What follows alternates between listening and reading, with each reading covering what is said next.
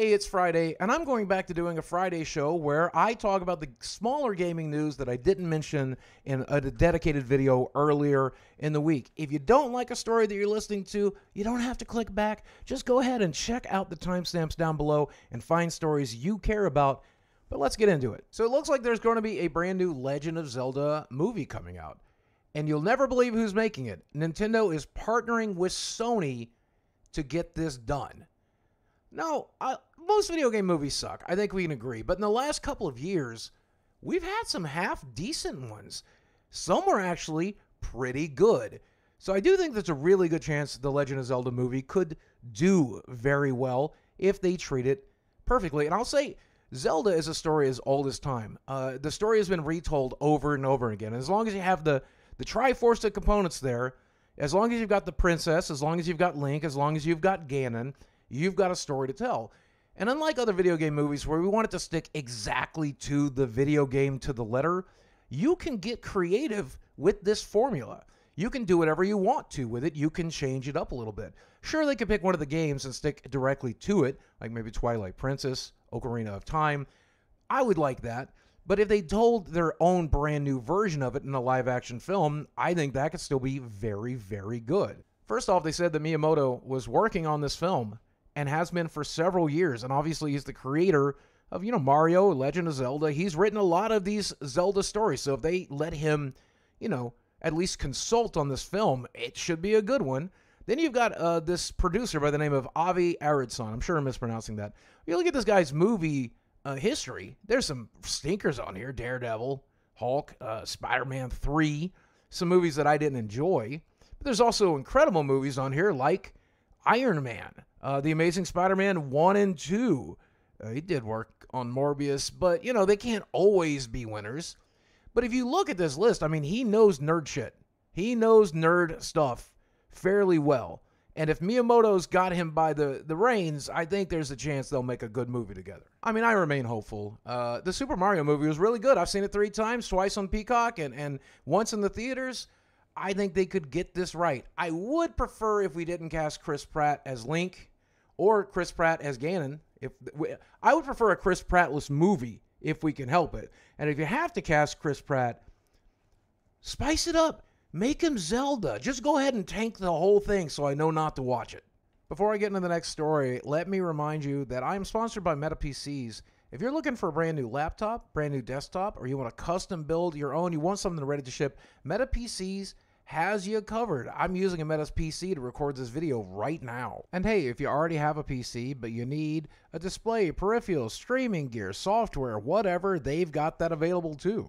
And the reason I recommend Meta PCs is because they've got decades of experience, they've built thousands of machines, and they've got incredible quality service. So go to metapcs.com or use the link in the description box below. And if you use code Boogie, you'll save 5% off of your purchase price, and you'll be supporting me at the same time. Speaking of video game movies, uh, I did watch the Five Nights at Freddy's movie, and I don't feel like making a, a full dedicated video talking about it, but I will say that I enjoyed the movie uh, quite a bit. Now, keep in mind, I do have a subscription to Peacocks so that I can watch, you know, The Office. So we streamed it on Peacock for basically free and me and my friends got together and watched the movie. And I'm not crazy about Five Nights at Freddy's. I played through several of the games, most recently Security Breach, you know, the 3D one where you run around the Pizzaplex. I think it's called Security Breach. I know some of the lore and I enjoy the lore. My girlfriend, my friends know way more of the lore, and they enjoyed the movie at least as much as I did. And as far as video game movies go, this one's very competent.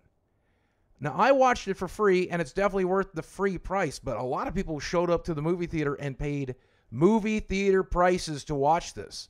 It cost $25 million to create this film. They earned back 207 million. So there's definitely going to be sequels, and I'm excited to see them because there's a lot of stuff you can do with this particular franchise. I did feel like the movie could have been bloodier, gorier, scarier, more jump scares. I feel like, you know, the audience that would watch this could handle uh, some PG 13 stuff that they did not fully include. And there's like an exposition dump in the, the beginning of the third chapter, the third act that I just kind of really didn't like. But most of the people I know enjoyed this film. And if you skipped out on it, you probably will enjoy it. If you know FNAF lore, you'll probably enjoy it. And if you don't know the lore, uh, you know, scary animatronic goes boo. It'll be a fun time for you. So give it a shot. Now, for those of you who don't know, I am obviously into cape stuff, right? But I'm also a Mortal Kombat fan, so this is like a perfect combination. Keep in mind when I talk about Mortal Kombat 1, I did get a review copy. So you'll need to know that going into it.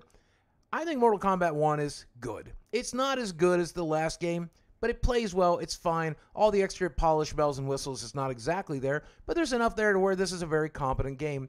And they are doing seasonal content and constant updates, and all those updates are going to be free except, you know, the combat packs and all of the DLC that you can buy. That's a whole other thing. However, if I were to say Mortal Kombat's a, a good game and you should play it, you should, especially if you're a fan of the TV show Invincible. And if you've not watched Invincible, you absolutely should if you're into cape stuff. I mean, it turns it on its head. It's like a completely different thing. If you're tired of what Marvel's doing, you're going to love Invincible, and they just started season two. Omni Man is from that show, and he is the first guest character coming in from uh, Kombat Pack 1. And I mean, they got it perfect. They got the voice actor, J.K. Simmons, to do the voices. The voice lines are perfect. The fatalities, the brutalities, his fighting style. Now, I will say, I'm not a, a, a, like a fighting game pro. I'm really bad at these games. I just like to play with them to see the goofy fatalities and the goofy brutalities and listen to the goofy stories and watch the goofy voice acting and then just mess around with the game doing the seasonal content till I get bored with it. But I will say, Omni Man is probably busted I don't know what the pro circuit is saying about him, but he's really powerful. I expect him to get nerfed, but he's just a joy to play. He plays a little bit different from everybody else, and it feels a little bit different.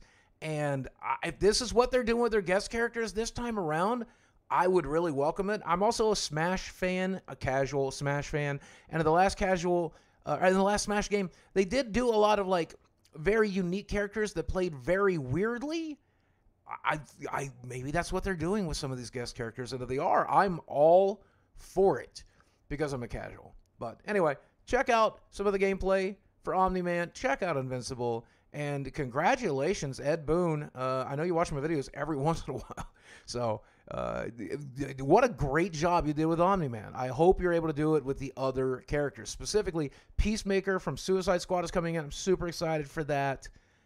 Got to get it right hope it's John Cena. I hope you had John Cena in the voice acting booth for that one. Super Mario Wonder came out, and it is wonderful. You know, if you haven't watched somebody play through this game, I recommend Zack Scott's games. His, his gameplay is the one I'm featuring right here, right now.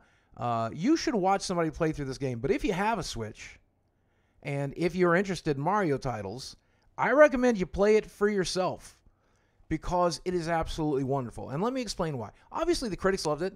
Obviously, the players loved it. Everybody who's touched this game loves it. And 2D Mario games are generally very boring, they're not very innovative.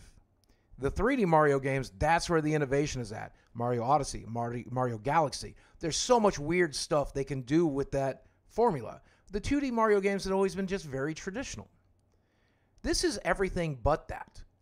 I feel like they were heavily inspired by the Rayman series, uh, especially when it comes to the musical levels. I feel like they were heavily inspired by some of the community levels you saw on Mario Maker, and they took those concepts and they turned them up to 11 and then just continued to innovate from there.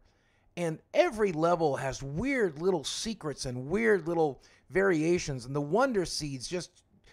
I was just happy the entire time I was playing this game it just made me feel good inside. Parts of the games are not very challenging, other parts are very challenging. You can find your own challenge levels. You can set your own challenge levels by choosing multiplayer, by choosing badges, however you want to do it. The game is there to be customized and play the way you want to play it, and it's worth playing it just to see all of the crazy stuff they managed to do. This has me excited about 2D Mario games again.